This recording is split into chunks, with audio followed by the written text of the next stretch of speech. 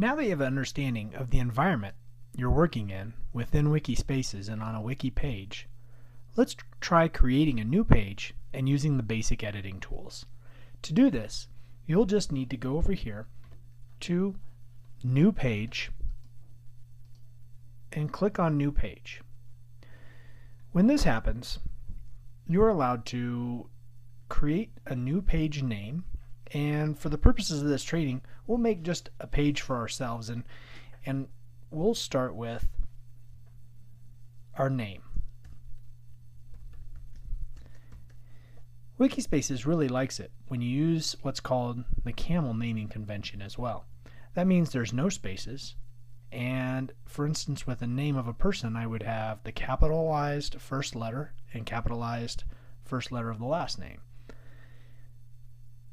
Since this is going to be a member page, I'm going to add tags, and the tags helps help us organize content within a wiki if I add the tag member and hit enter, it's going to be associated with other members' pages.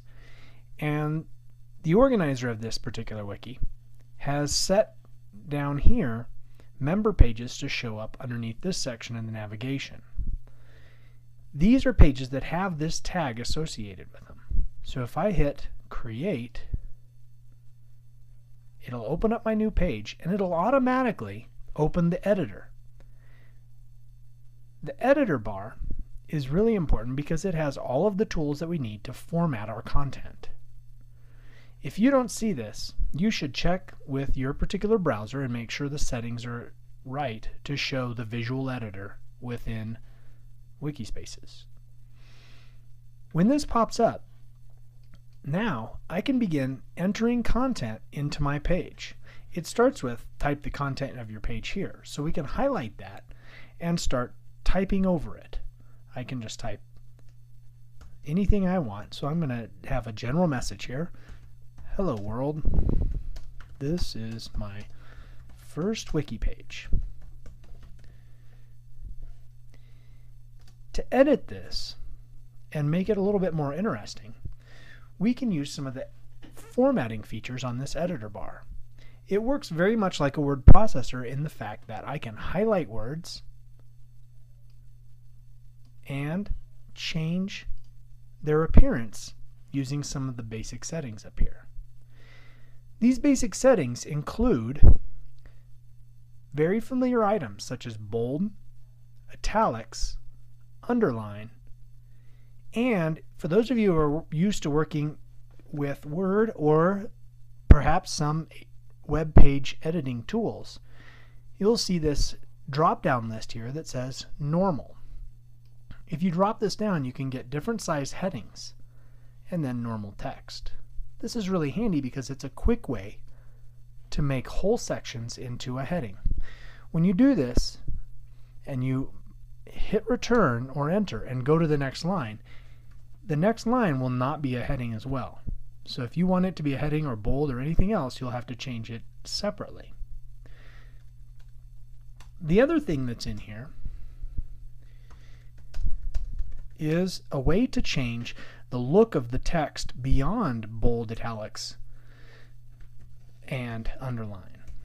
What I can do is highlight some text and select this little color and style button. When I do that, I can change the font. I can change the color. I can change the background color. I can change the alignment of text. And I can change the vertical positioning, which is whether or not it's subscript or superscript. I can also add a strike-through feature to it. These are normal settings that we would be able to change. There's also an advanced tab. The advanced tab is for people who understand CSS.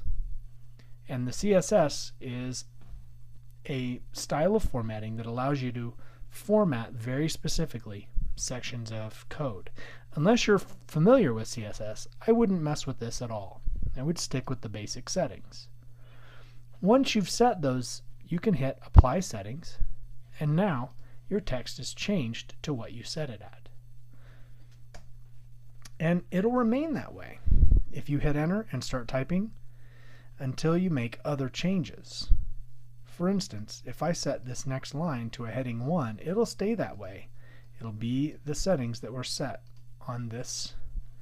Now I can select a given set of text and I can clear this style by hitting clear styles and it'll go back to the default.